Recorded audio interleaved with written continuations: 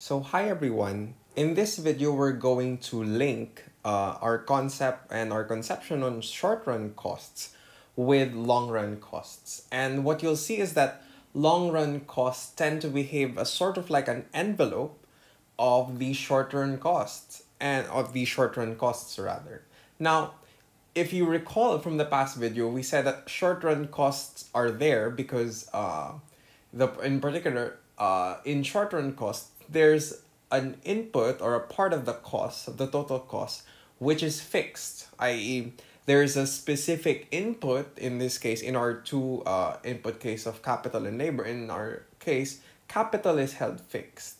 And in the short run, since capital is fixed, we then said that a firm cannot achieve okay, its cost minimization process uh, properly because it has one of these inputs fixed, so it cannot reallocate or uh, or adjust the input to the proper combination that would adhere to cost minimization. Now, what we're going to show today graphically is that we can derive okay the long run cost curve, which is essentially the cost curves we're familiar with, okay, using the short run, and that these long run costs, okay, these long run costs uh can be act as sort of an envelope for these short-run costs and that the way that we derive them is somewhat intuitive and uh, they're derived when we vary okay when we vary the level of the fixed input okay? So what do we mean by that? Say for example in our case in the short run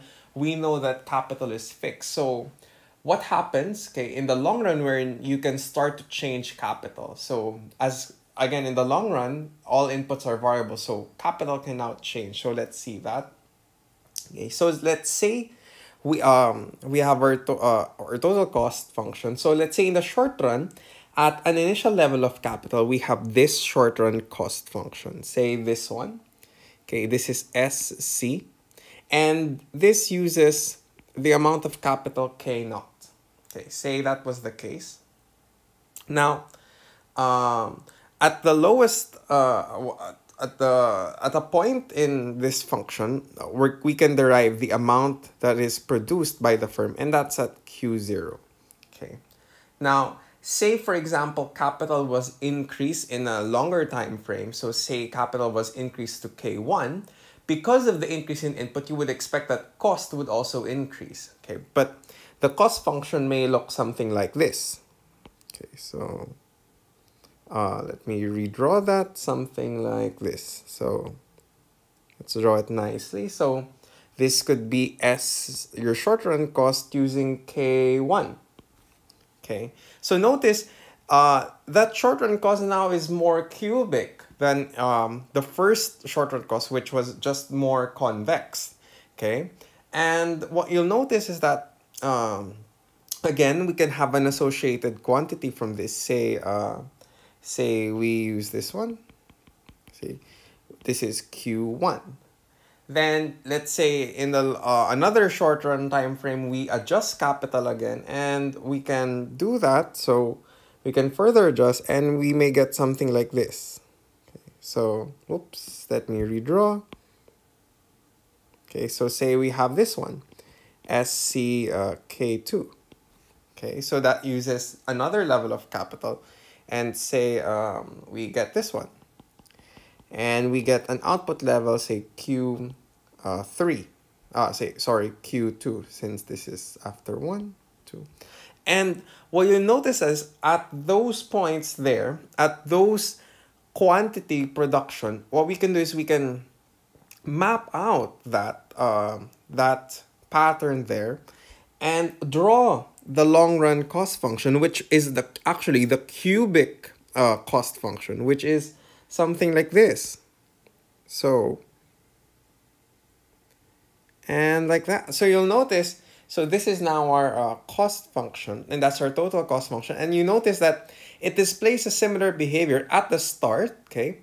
Uh, the function is relatively more concave, then it has some inflection point at the middle, and it becomes more convex. So it sort of uh, exemplifies our properties for variable returns to scale. And it's the most realistic one that we have. Now, apart from the total cost function, we also said that we could also um, determine uh, the marginal cost function and the average cost function. So uh, what you'll notice is that we do the same strategy. We vary, okay, we vary the level of capital again. So say we have one period first. So the short run average cost could look like this. So this could be short run average cost at K naught. Okay. Then it would have a corresponding marginal cost intersecting at the lowest point. Okay, and then you have SMC, K naught, SMC, okay. Then say you varied capital again, so you're able to change capital in another time frame. Then you have this uh, SAC, K1. Then again, MC intersects at the lowest point. So that's um, this one here. So say it intersected, so that's SMC, K1. And again, okay, at the lowest point, so this is at the lowest cost, so this is the cost minimizing option, right? So we will um, produce Q here at this one, and we will produce Q1 here. And to derive the long run cost average, uh, the long run average cost and the long run marginal cost, we link those lowest points together. So it will look something like this. So let's say we link it all together. So this will be your average cost. And at its lowest point, okay, what you'll notice is you will have the, okay, so say this was the lowest point, you will have your marginal cost over there. So let's get a few things here.